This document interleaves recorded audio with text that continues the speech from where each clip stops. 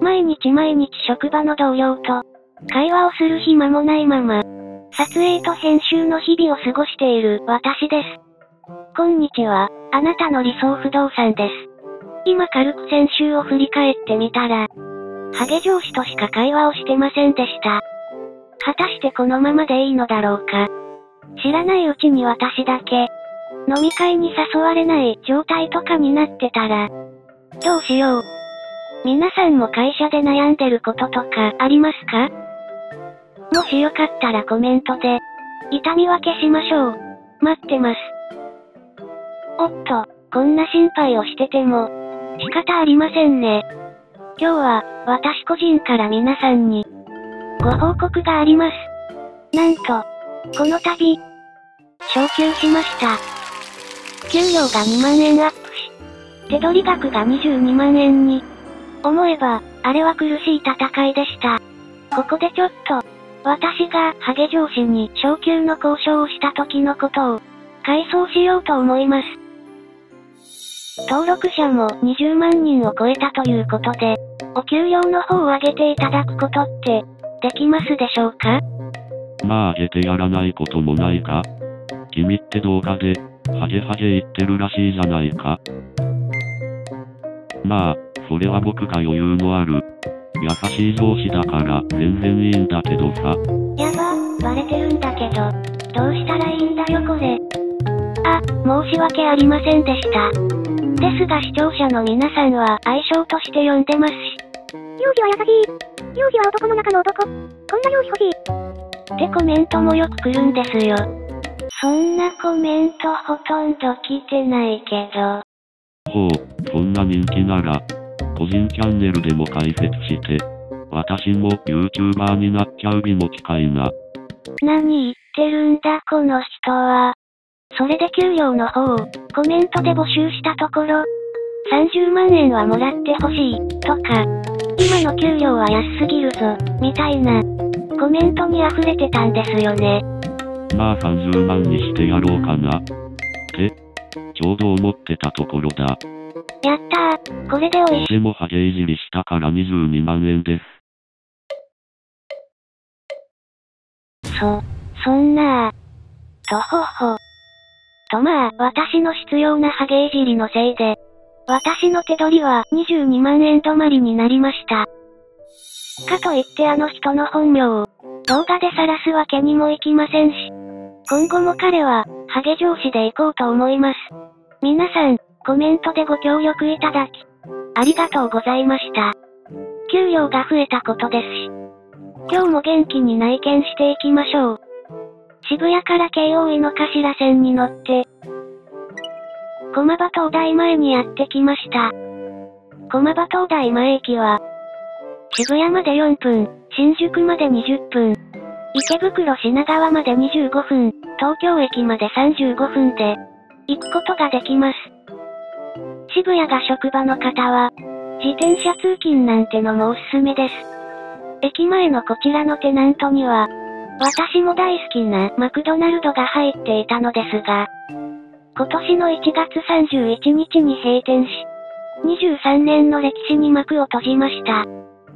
今ではあまり見かけなくなったカタカナ表記の、マクドナルドハンバーガーという看板が、趣深かったのですが、残念です。駒場東大前駅は、名前の通り駅からすぐに、東大の駒場キャンパスが、広がっているわけですが、この春から大学生になった皆さん、いかがお過ごしでしょうか？コロナも明けてようやく、ちゃんとしたキャンパスライフを、送れるようになったと思いますので、楽しんでくださいね。そういえば先日、私以外にも、雨男な不動産チャンネルがあるのか、皆さんにお尋ねしたところ、たくさんのご回答をいただき、ありがとうございました。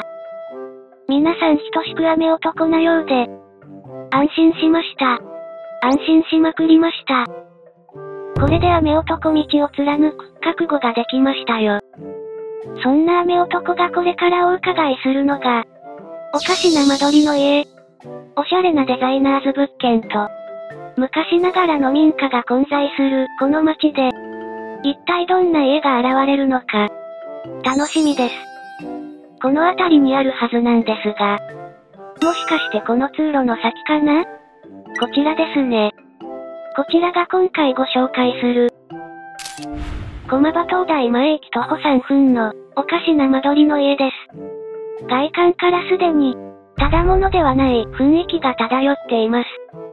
今までに幅50センチメートルしかない、激狭、激薄、激細物件や、幅20センチメートルしかない、極細バグ物件を見てきて、建物の薄さにはある程度の免疫がある私でも、これには驚かされました。どんだけ薄いんだ。どんだけとんがってんだ。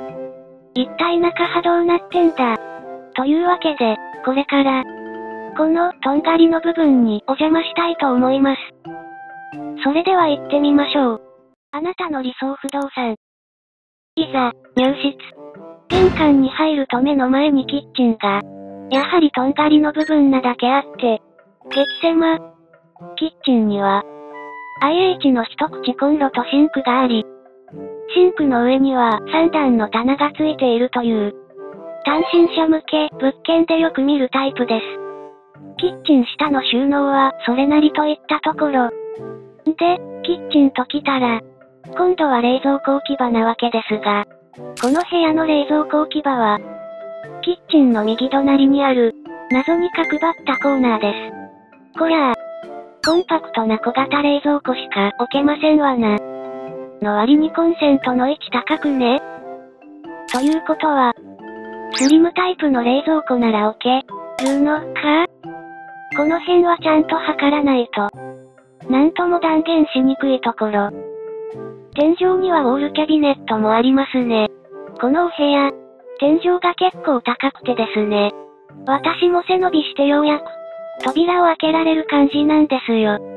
これ、背の低い方だとそもそも、扉に手が届かない可能性もあります。コンセントの位置も高いので、冷蔵庫のコンセントを挿すときは、脚立か何かがあった方がいいでしょうね。壁には激シンプルな給湯器リモコン。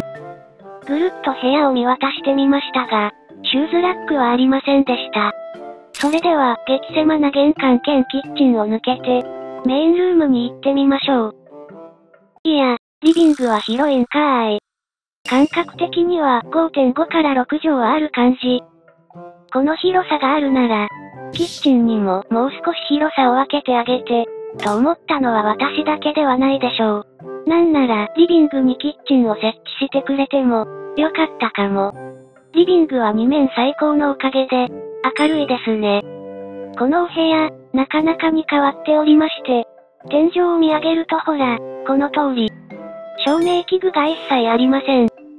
つまり、今灯っている、壁際の間接照明以外の明かりがないわけです。窓が大きいおかげで日中は明るいですが、夜はこのままだとかなり暗いお部屋になりそう。では、正面のクローゼットを見てみましょう。クローゼットは単身者用物件の中では、標準的なサイズでした。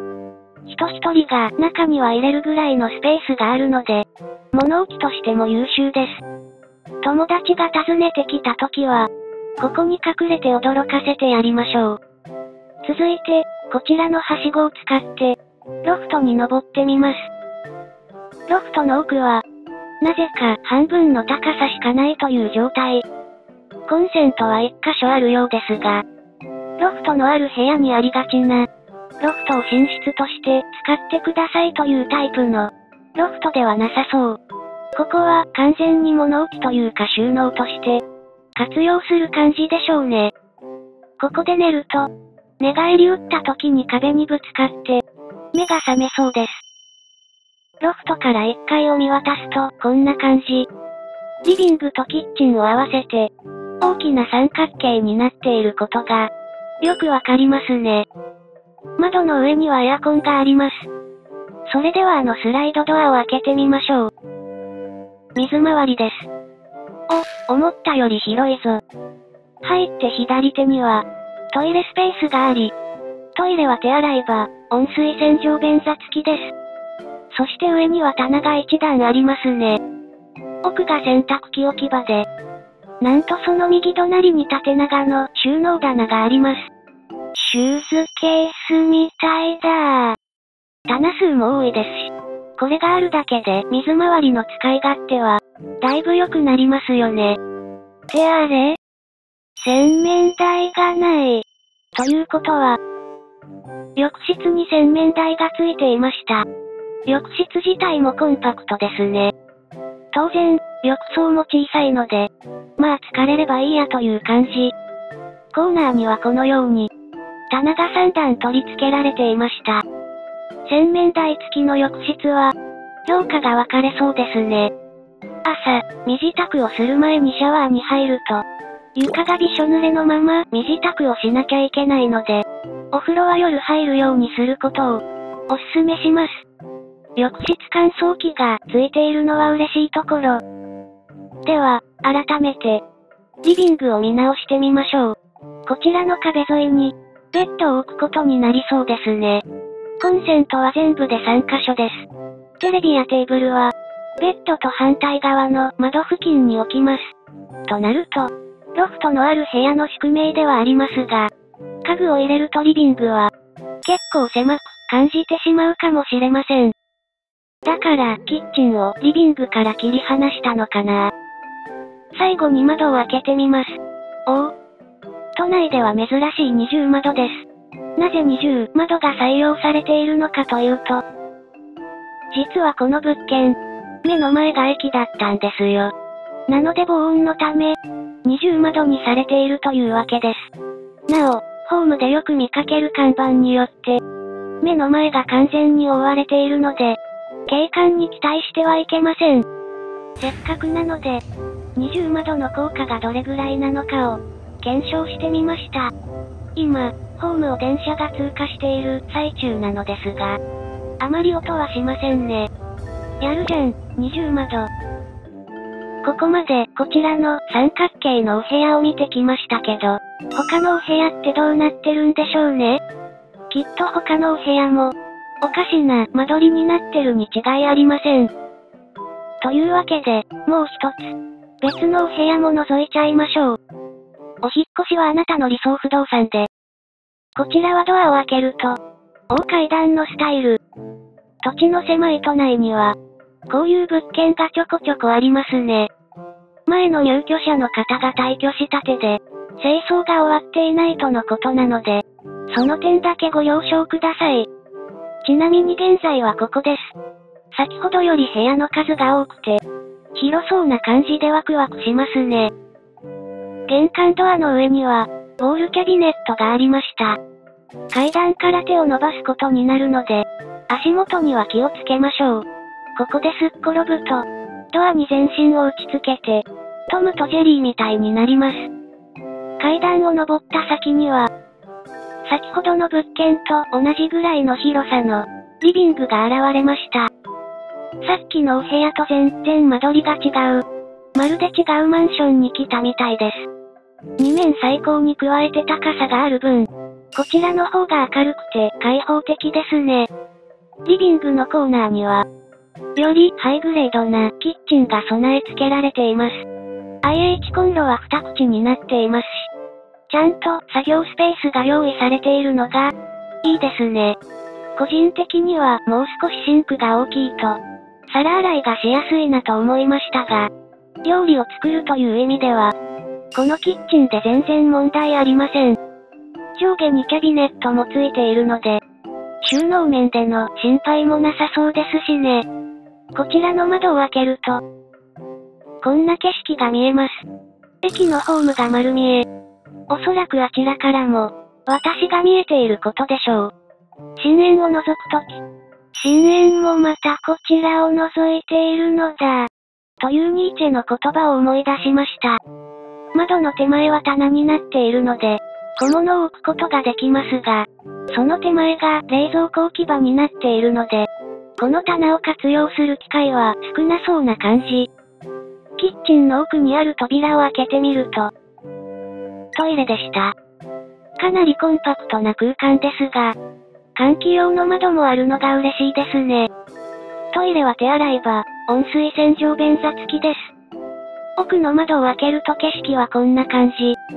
アパートやマンションが所狭しと、ぎっしり詰まっていて、東京やなぁ、って感じがします。こちらのお部屋の照明はレールライト。やはりこの建物には、直接照明は用意されていないようです。幸い、先ほどの部屋ほど天井が高くないので、これだけでも明るさは確保できそう。まだ暗いようなら、スポットライトを足しちゃいましょう。エアコンの下にはインターホンがありました。このインターホンの形と色合い、おばあちゃんちのインターホンを思い出しました。おばあちゃん元気にしているかな？ってどこで思い出に浸ってんだ私。内見続けます。それではここから、3階に行ってみましょう。なんとこちらの部屋は2階だけでなく、3階も利用できてしまうんです。1軒目に比べてこちらは、かなりグレードが高いようですね。3階に上がると、3方向が扉で閉じられていました。開き戸が1つと引き戸が2つ。皆さんならどれから行きたいですか？私は、せっかくだから、この左の扉を選ぶぜ。おお、変な形の寝室が現れました。ドア付近にはこの通り、クローゼットもあります。引っ越し業者さんは、このフロアまでベッドを運ぶのを、嫌がるとは思いますが、一度運んでもらってしまえば、快適な寝室になりそうです。ちゃんと大きめの窓もついているし、目覚めはバッ。いや、雨降ってきとるやん。今日はギリギリ曇りで抑えられたと思っていたのに。結局、今日も雨男ですわ。部屋を出て、そのまま向かいの、引き戸を開けてみちゃいましょう。うお、これまでで一番広い部屋現れた。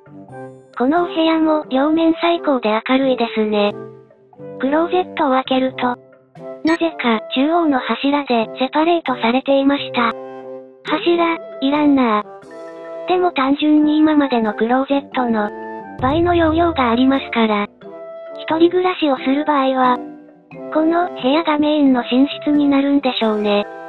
この寝室だけで、一軒目のリビングより広いんですが、同じマンションなのにこうも、部屋の格が違うことに、衝撃を受けています。これだけ広ければ、書斎を置くこともできますよね。となると、向かいの寝室は何に使えばいいんだ？ルームシェアした時用の部屋もしくは、洗濯物を干すための部屋なんかに、使っちゃってもいいかもしれません。なんとも贅沢な悩みです。こちらのお部屋も天井を見ると、照明はレールライトのみとなっていて、直接照明がありませんでした。コンセントは2箇所。欲を言えば、この窓がもう少し大きければ、よかったなと思いますが、この窓の大きさでも、お部屋がしっかり明るいというのは、高評価です。最後に真ん中のスライドドアを開けてみましょう。水回りですね。左から、洗濯機置き場、洗面台、お風呂場となっています。3階まで洗濯機を運ぶ引っ越し業者さん。5分を。おや、水回りにも小窓があります。そういえばこの物件って、一般の物件より小窓多めですよね。そのおかげでお部屋の明るさが、担保されているんでしょう。小窓に感謝。お風呂場の大きさは、1軒目の1.5倍ぐらいあります。部屋だけじゃなく、お風呂場まで広いんかい。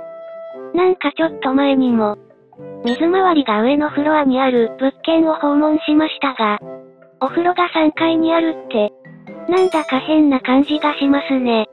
まあ使っているうちに、すぐ慣れるんでしょうけど。洗面台は下が空いている。シンプルなものでした。1軒目よりも2軒目の方が、グレードが高いだけあって、設備は充実していましたね。あと、階段が多いので、足腰が鍛えられそうです。玄関まで降りてから、3階の寝室に忘れ物をした日の、絶望感は半端ないでしょうね。ただ、その分、駅から近いので、疲れは電車の中で癒してください。ということで、今回はおかしな間取りの家を、二つご紹介しましたが、改めて、二つの物件を比較してみましょう。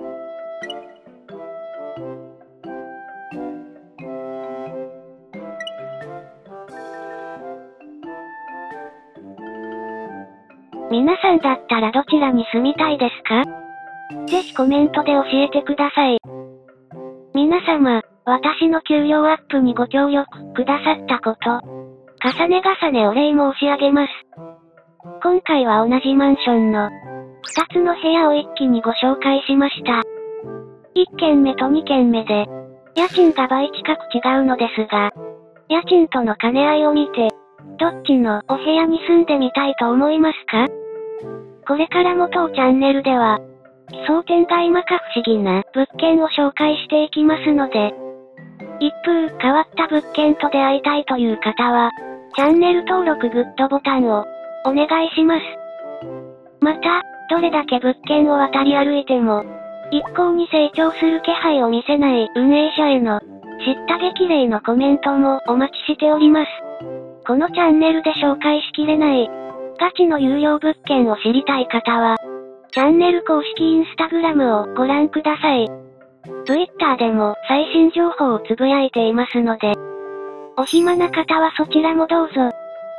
本気でお引っ越しをお考えの方は、概要欄からあなたの理想不動産公式 LINE を追加してお問い合わせください。ではまた次回のルームツアー動画でお会いしましょう。